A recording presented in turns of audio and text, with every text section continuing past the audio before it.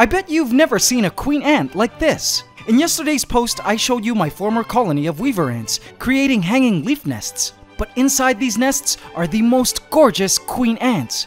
Check them out. Sometimes they emerge and they look like this. They are massive ants, and the colors on them are just spectacular. Some are golden brown, others are bright green, and others somewhere in between. Check out this gorgeous queen weaver ant, tended to by her entourage. But wait until you see how these ants eat. Check my page for part 3.